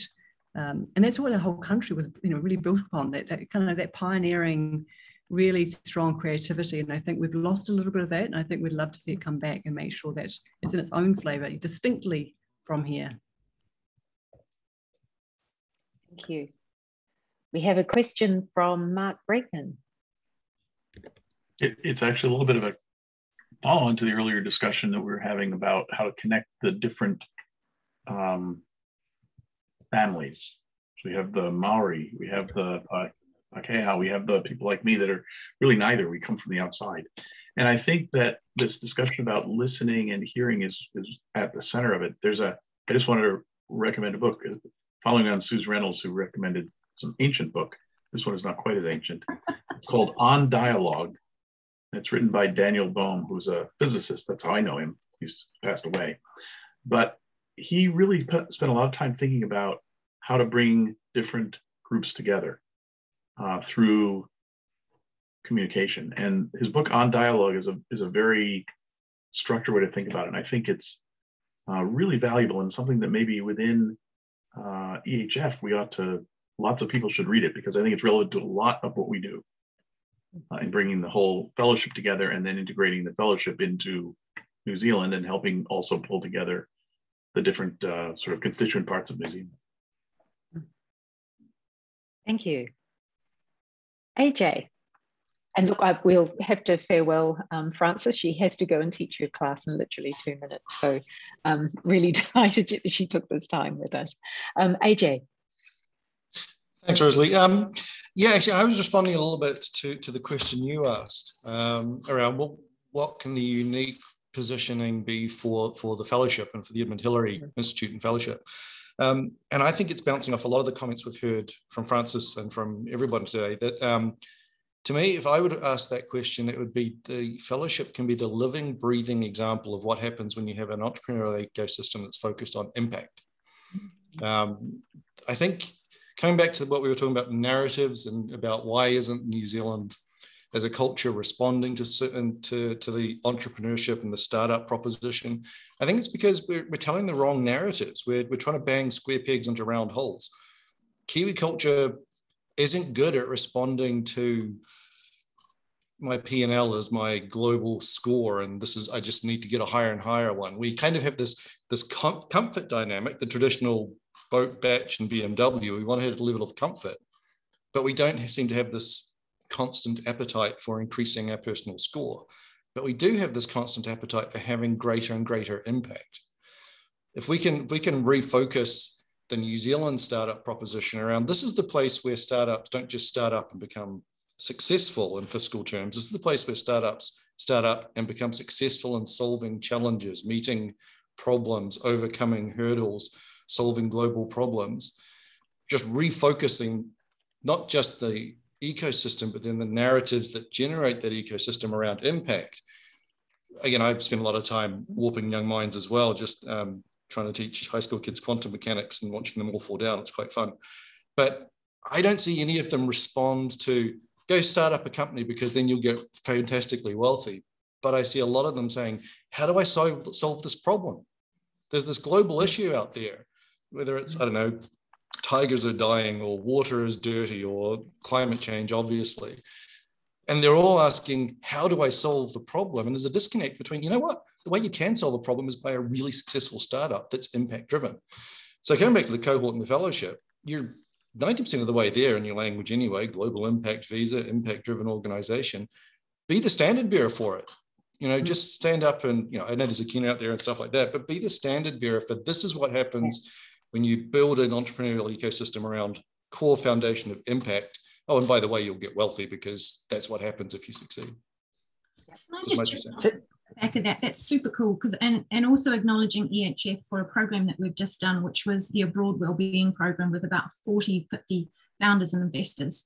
And part of that was um, trying to, uh, you know, um, focused on well-being and and letting founders know that it's okay to fail and that they're human you know all of us for that matter. You know anna outed it in the comment about you know the fear of failure is still a real handbrake in new zealand. The fear of i mean i put it slightly more crassly fear of looking like a dick.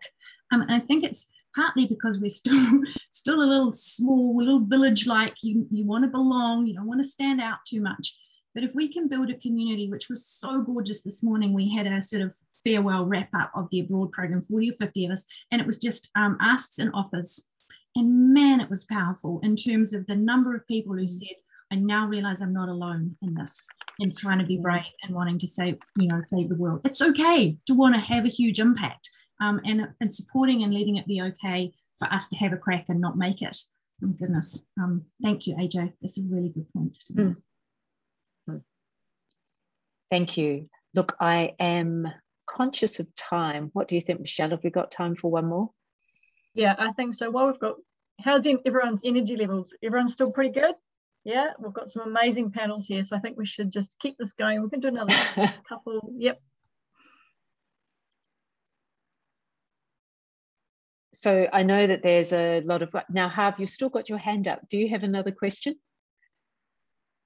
I do, but I'm happy to defer if, if there's somebody else online.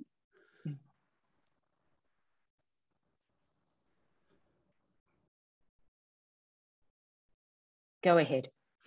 So I'm interested in, uh, to the whole panel, pity Frances is gone, but the rise of DAOs in the in the world, how do you see that impacting the, um, the, the startup space?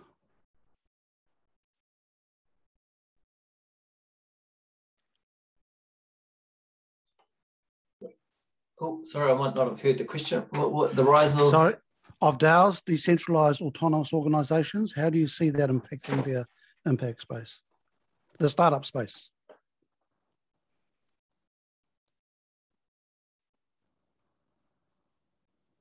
Kind of, I'm not particularly scared about it actually. um, but that's maybe because I quite like chaos. Um, look, I, um, I'll, I'll let the other panelists go for it and then come back to that. Yeah. To be perfectly honest, it's not a concept that I'm terribly familiar with. I really love the sound of it. Um, and um, it, you know, so love to learn more. yeah. well, I, just think it's going to be huge in the Maori space, Aubrey. Mm -hmm. Yeah, but I think I think Maori are going to get onto this um, and it's basically, it is just motivating the crowd and having multiple stakeholders instead of one. Exactly. So it's a, it's it's the opposite of the old capitalist system. Yeah. And and and and coming with a whole new ownership structure and involvement. So um yeah, I'm really I'm really interested in it. I think it's going to be and I I'm really I talked to Che Wilson last week, Aubrey, and going, you need to get up to date with this because it's coming and I think you guys are going to be great with it. I also think there's a piece that I, you know, some of the people on the call will have heard me say a lot before too. In the same way that it takes a village to raise a child, it takes a whole country to raise a startup. And that is professional service providers, the government, academia, NZ corporate. We all have to kind of wrap the love around that um, and help them to succeed.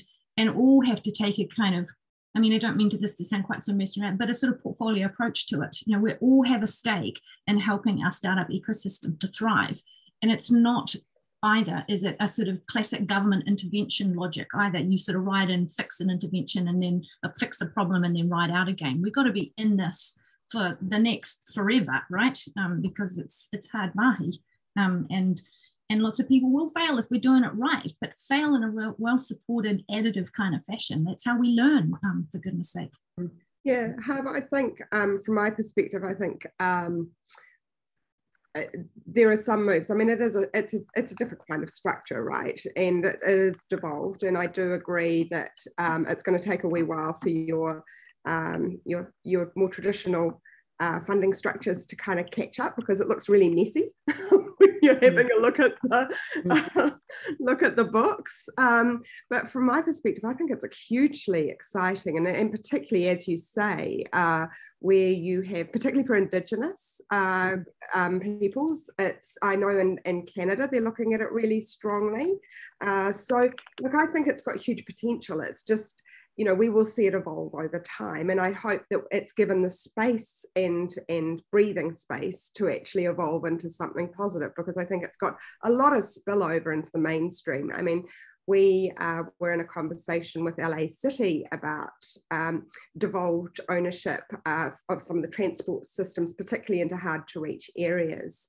And um, there was a couple of organizations that were looking for community, basically, it's basically a DAO. So, uh, and they were looking for government to actually support that. And I suspect that that's probably where it's going to start potentially. I know there's some talk about, um, you know, whether it's uh, going to be more of a cryptocurrency or a crowdsourcing type approach for, to funding, but I do think there is uh, where you're seeking it's almost like an evolution of community-led development to that next phase. I'd, I'd love your view on that, um, but I think there's huge potential, and particularly in a New Zealand context.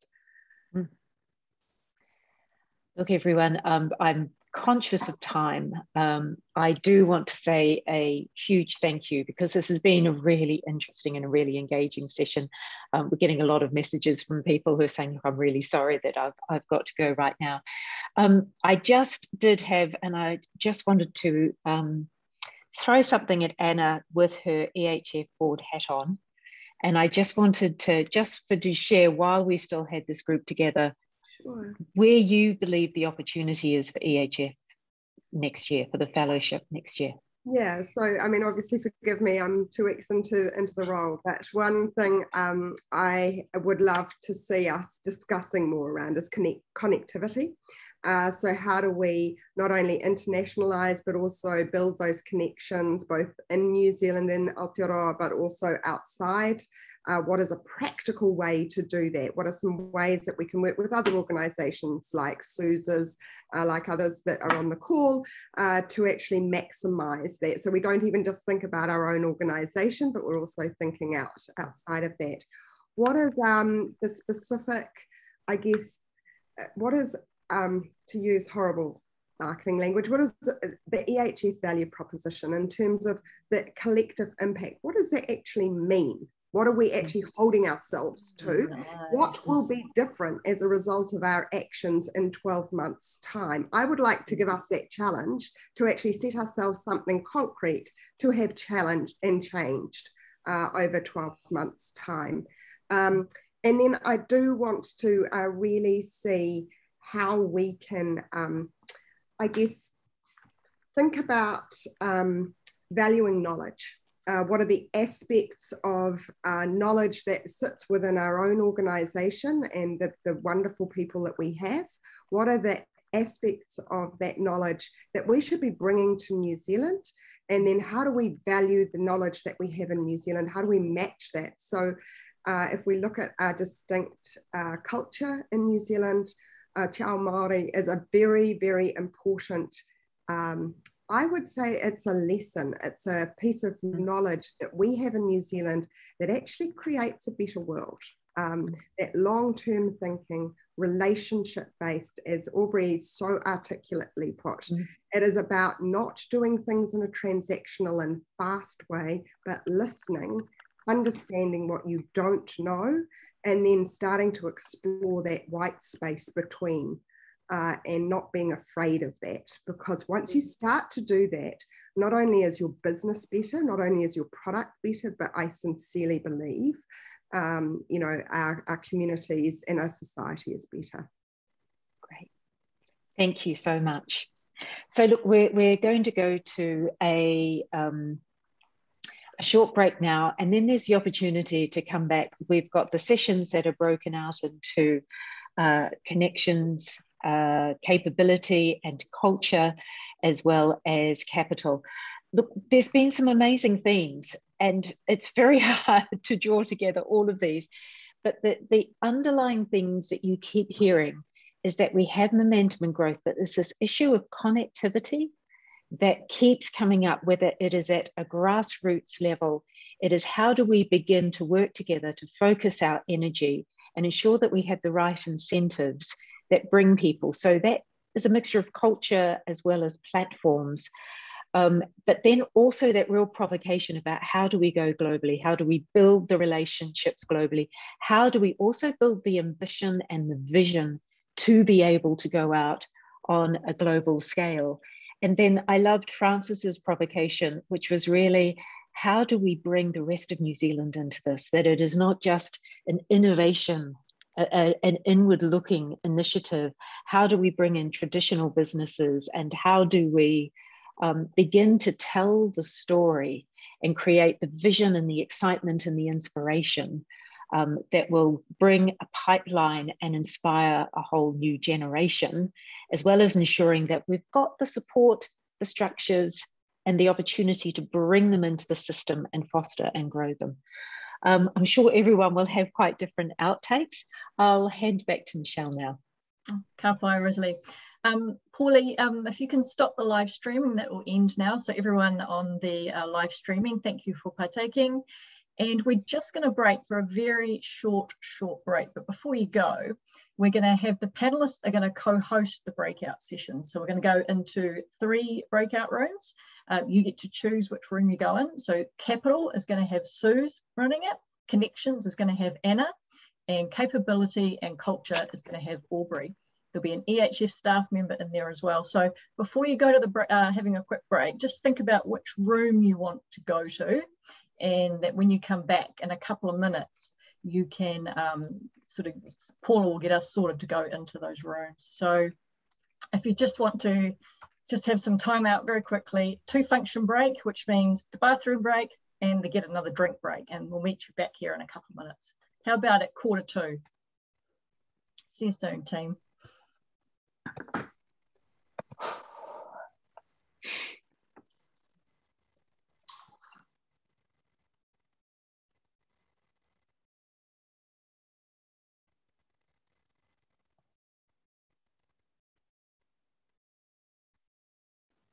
Nice. Yeah, I grabbed some more water too. Sunshine in here at the end of the day is fantastic. All right. We are gonna, what I'm gonna do, because I still wanna finish at 5.30. So we're gonna condense down what we we're originally gonna do for the breakouts and just make it a little bit more tighter. So you've got yourselves renamed still, so that's good. I'm just gonna grab my sheet here. Um, we're going to harvest notes. So Ants and Paula can throw in the chat session there for me. We've got a um, the shared note thing and we're going to harvest notes when we go into the breakout room. Um, there'll be one of us in each of those rooms. So we'll be taking a lot of notes and we'll be helping one of the panelists. And usually we do run you know, the law of two clicks. If the room isn't right for you, that you get to shift on. But because we're only going to have probably about a 15 minute breakout, or maybe 20 minutes in. So we still need to have, we need to finish it at, at 4.15 so we can have 15 minutes sort of discussion back in. Um, the breakouts will be just a little bit shorter than normal. But if you do feel at the very beginning you're not in the right room, then you can shift to the next one. So just a reminder, we're going to have um, Anna doing connections and you heard that discussion that was already happening before so we can you can probably have a bit more in-depth conversation with Anna on that or start to raise up sort of what are the opportunities that you see in New Zealand from all of the uh, information that you received before. Capital Suse and I'll be jumping in there with Suse Ants is going to be hopping in with Anna on connections and Paul is going to jump in on capability and culture with Aubrey. So just sort of reflect and think a bit more on what you've been hearing. Maybe jot down more ideas, thoughts that you didn't manage to get in currently. Don't worry too much about what actions are going to come out of this because we'll do that in a later session. So how are you going with getting those breakouts sorted, Paula? All done, 20 minutes, correct? Yep. Yep. So you'll be able to select which room you want to go in. So hopefully over the break you had a bit of a think about which one. Do you want to do 25 minutes? And we'll finish okay. 15? Yeah? Yeah. Okay, sounds good. All right, great. And that still leaves it for a, a, a discussion. Uh, does one of you put that document in there and we'll take it each into those rooms as well? So the rooms are open now. And the way you can choose and you can move around rooms and uh, if you look at the border of Zoom, there is a breakout. And if you hover over the blue number, you will be able to see the join option. And then you join the session that you want to go. If you need help, uh, write in the chat where you want to go, and one of the co hosts can send you there. Perfect. Have a good discussion. Just continue what you've already been doing today, I think, team you can feedback to me. We're just going to popcorn style this just to steal Ance's lovely little term. Um, some reflections that happened in your rooms. Who wants to chime in with some? How about someone from the connection room?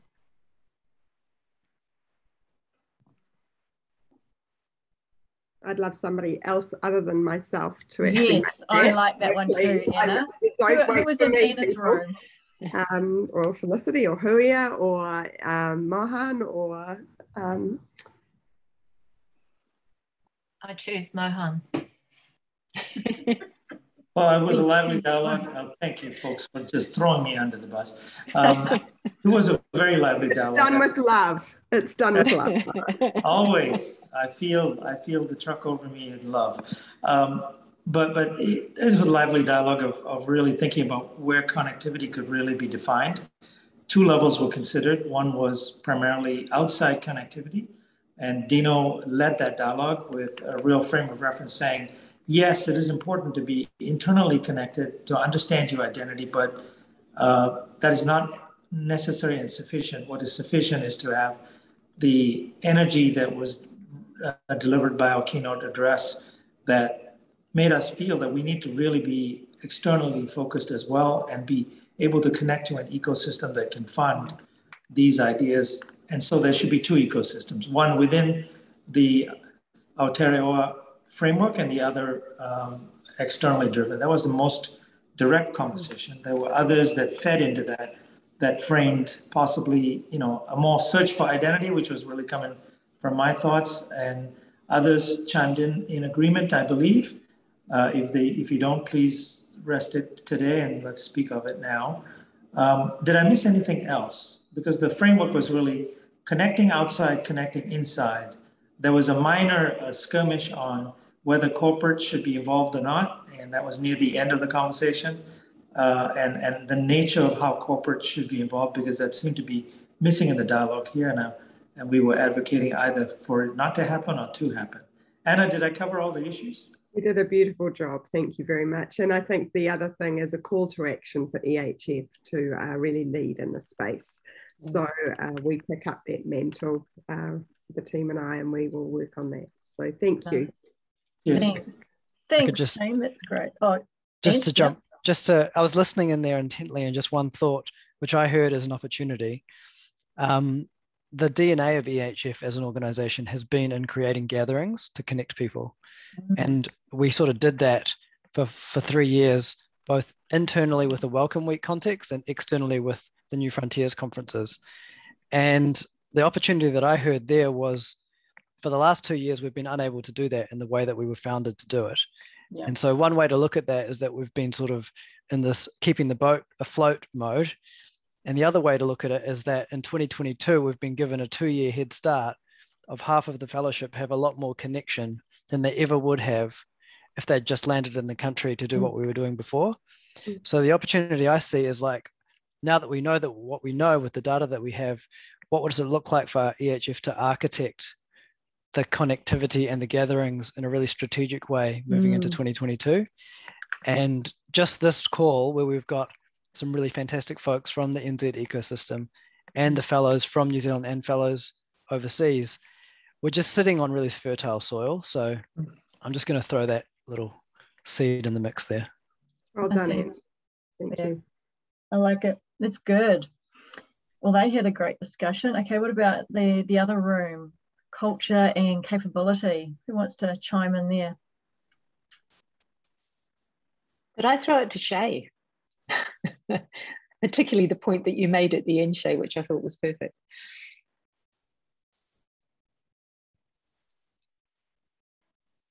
Which one was that one, Rosalie? He's full of ideas. I, I, it's not it's not top of mind, but I think um, you know what, what we had one one kind of conversation around the importance of ensuring that we don't take aspects of parts of a culture, um, remove it from its original context, and then use it as a faceplate, uh, which is a term that Aubrey used. Uh, and if we do that, then um, we run the risk of a kind of being outside of uh, the this outside of what it needs to actually be successful and um, we just kind of water it down. So that was one one thing that I remember hearing. Um, yeah, what other what other ones that you want to talk about? One of the ones that I thought was really interesting was a point that Brett made, um, which was actually a shifting of the language. And I, the way that he described it was that if we use the buzzwords of startup and entrepreneur and all of those things, it's just not going to resonate. But if you were to actually think of this as a, te a television brand, and it was actually about the creation of impact and the storytelling of people and the purpose that was addressing some of the greatest problems that we've got, it would fundamentally both attract and would change the nature of the conversation. Um, and I thought that was really powerful. And then we also talked about the issue of translation um, and that was that was the point Shay that I thought was really interesting that you made if you wanted to pick up on that or anyone else wanted to, to chime in. I leap in there because that's a really neat segue, and I don't mean to hold the mic either. So any of the other um, bods who are in our session, by all means, chip in. But um, solving the really big problems, um, because we've, oh, well, I felt I owned my own anxiety about being the sort of dirty capitalist bit of the um, in the capital piece. But we had such a cool conversation that was really not about that, all about show us the financial returns. Um. We talked about kind of solving the really big kind of existential crises for the world, which is around the whole you know, our economy and our society is so extractive at the moment. And so we anchored that and how do we um, Arthur, you articulated it far more neatly about how we um, sort of change the way we um, use our currencies, for instance, to be rather than extractive, to be additive, so that you have like you have credit ratings, you have impact ratings, um, so that encourage us to put more stuff back. Um, and then we also, because we had um, just come on, on on our group too, we talked about housing and how we make housing kind of more accessible um, and grounded in sustainability, um, that kind of stuff too, which you know, and my kind of sort of framing for that is that um, we talk about a lot of things. Um, climate change is one of them as being our big existential crisis, but in fact, I think sort of humanity and sort of social equity is a bigger existential crisis. But we find that so much harder to fix. And yet, here in this cohort and this bunch of people, we've got the sort of the germs of being able to fix it um, by being brave um, and getting cracking at it. So that was cool. Anybody else on that call, by all means. Wow yeah, one cool thing I really liked about it and our one was how we um, spoke about VC or Mark brought this topic up and then um, art sort of built on it was that uh, VC uh, used to be creative and now it's gone to sort of financial, it's um, extractive. So how do we, this could be a thing that um, we work with with the ecosystem and people like Suse EHF, what we work with them is how do we then get that circle going back around so we get back to it being creative and even if it's just in New Zealand, you know, we can lead in that by flipping VC back to being creative instead of extractive. And brave. It's not about getting wussy about generating returns mm-hmm. or anything like that. In fact, that's still the big piece in it that we want to create this exponential impact and value. But instead of anchoring it in sort of slightly rudely, I put it sort of financial returns. It's more about the sort of socio-economic returns that we, and if we do that, then the financial returns will come with that as well. But we just have to get focused on creating the value first. Mm. Yeah, I agree. Any other last reflections? We've covered all rooms otherwise. Well, I hope you've had a great session. Um, it's probably felt long, but I think it's been really worthwhile. So just know that this is just the beginning. It's just the start of the conversation. All we've done today is harvest about and hear a lot of data and hear a lot of points. Um, there is going to be activity that comes after. So we will be running events in the in the new year as well. So what we have got coming up um, late March and in February, there's the blockchain paper that's been run through Callaghan. Um, so they are sort of working on that at the moment and, we, and with our fellows. So art, if you want to be interested in helping out in that sort of thing, there's lots of different things there. So that'll be late February or into March. And we've also got the space. So we're a stakeholder there with MBIE on the, the space strategy. A lot of our fellows have been helping out with that as well. And tomorrow morning, there is actually still another session on the mini springboard if you want to come. It's at 8.30, well, no, actually it's 8 till 10.30 and that's um, Rod Oram is running it. It's New Zealand's priorities and opportunities in the decade of climate action. So we actually are going to be lucky to have um, Hillary laureate Johan Rockström. He is going to be speaking for the first sort of 40 minutes. Uh, Vicky from MFE is going to jump in and Rod is going to sort of facilitate the whole thing and wrap up about uh, post COP26 as well. So that um, should be very good. But thank you all for partaking. It's been good. And so thanks for hanging in there until the very end. Thank you. I'm Thank you for gonna... the organisation and love that went in behind us. Thank you so much. oh, you guys are welcome. It's cool. It's good. Um, so I'm just going to close us off with a karakia. Kia tau tau rangamai. Te runga e nā iwi o te ao. Kia ora.